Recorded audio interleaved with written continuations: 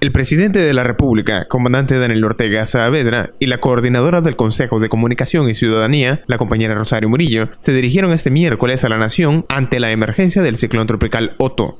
Está a 260 kilómetros de distancia todavía del núcleo.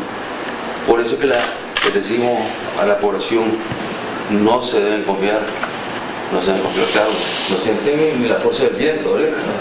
Ni tampoco lluvia.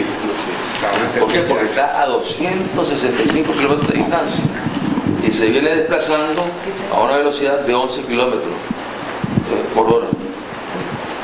Antes tuvo un desplazamiento bien lento. 4 kilómetros por hora.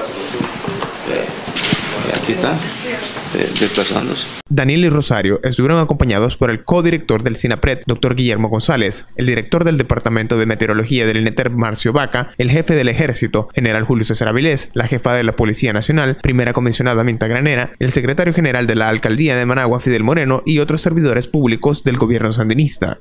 Todo nuestro pueblo estado informado de lo que se han ido haciendo, de lo que se han ido en cuanto a medidas de prevención, porque aquí lo, que queda es la prevención, prevenir. Y siempre lo hemos dicho, frente a estos embates de la naturaleza, bueno, primero salvar vidas. Y insistimos en decirle a las familias que están en situaciones más expuestas, ¿eh? o sea, si hay una familia que vive ¿eh? en la zona costera, está más expuesta.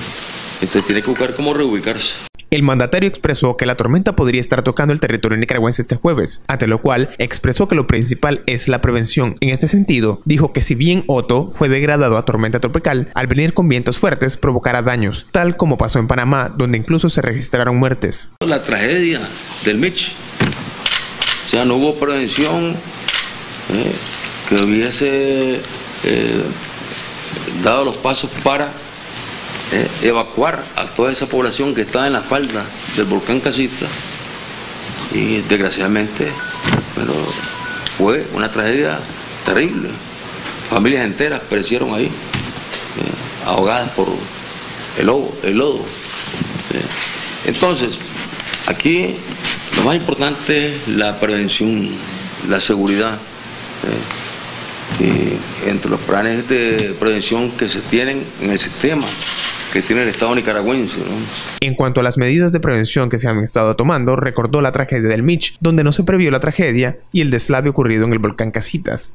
Manifestó además que el Sistema de Prevención Nacional tiene establecidos refugios para casos como este. Igualmente destacó cómo probablemente Otto afectará con lluvias todo el país durante el jueves y viernes, presentándose en algunos lugares lluvias de intensas a moderadas, lo cual a su vez provocará todo tipo de afectaciones. Aunque la lluvia sea moderada, sostenida durante dos días ya produce inundaciones, afectaciones a la población en primer lugar, a la familia, afectaciones a la agricultura, afectaciones a la ganadería, son zonas de, ganado, zonas agrícolas.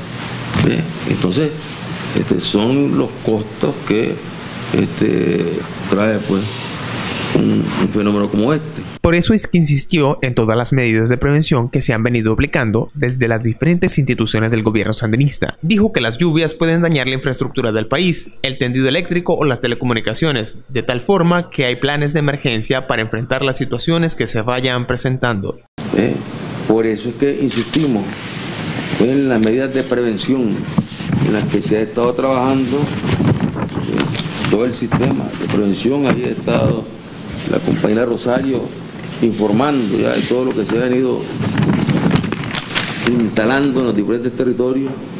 Eh, este, el, doctor González ha estado ahí este, coordinando esfuerzos con los compañeros del ejército, el general Avilés ha estado al frente, ahí también Aminta con la policía, todo el sistema de salud. la compañera este, es la codirectora. los compañeros de